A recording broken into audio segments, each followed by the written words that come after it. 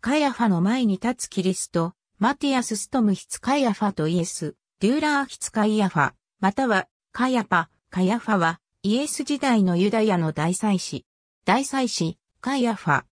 ユダヤ人の歴史家のフラウィウス・ヨセフスが語るところによれば、カヤファは紀元18年頃、バレリオ・グラトに任命され、大祭司に上り詰め、36年頃ビテロにより解任された。現在では単にカヤファと呼ばれるが、正確にはカヤファの子ヨセフで、カヤファは父の名である。サドカイ派。新約聖書にも処刑前のイエスを陰見する場面で登場する。カイヤファは大祭司であったアンナスの婿で、ローマ総督の任命によって大祭司となった。これは当時のユダヤではハスモン朝以来の伝統で大祭司が王と同じように政治的な影響力を持っていたためである。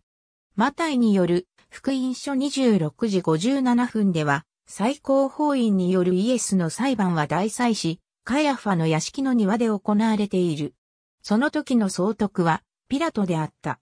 ヨハネによる福音書ではイエスを捕らえた人々はカヤファより先にートのアンナスのもとへイエスを連れて行く。このことからアンナスが元大祭司として依然影響力を持っていたと見ることもできる。祭司長たちはベタニアのラザロも殺そうと相談した。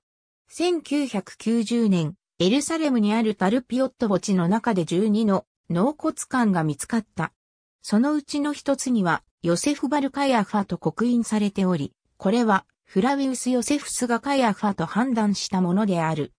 中には西暦1世紀のもので、その容器に入っていた遺骨は、福音書の中で書かれているものと同じ人物のものと考えられる。37、カイアファは誰ですか ?2018 年5月28日閲覧。37、カイアファは誰ですか ?2018 年5月28日閲覧。ありがとうございます。